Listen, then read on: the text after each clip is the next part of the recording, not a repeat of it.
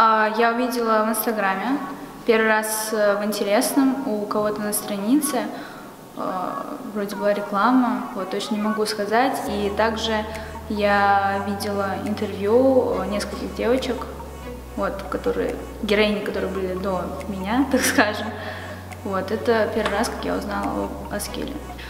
Uh, ну, прежде всего, у меня все мои вещи проходят такую тщательную фильтрацию всегда, потому что у меня большая семья, у меня есть мама, сестры, и как бы uh, сначала я предлагаю свои вещи им, если им они не приглянулись, вот, ну, то есть как бы у меня много вещей с бирками, uh, которые я там не одевала, и уже думаю, что больше не одену, ну, было какое-то настроение, видимо, решила их приобрести, но в дальнейшем э, э, на мне их никто не видел.